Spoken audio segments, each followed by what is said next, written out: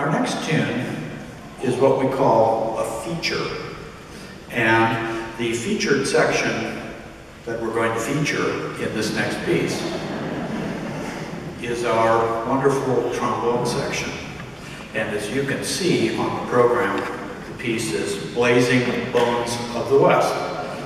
And this is going to feature the Magnificent Seven, How the West Was Won, Blazing Saddles. So here we go.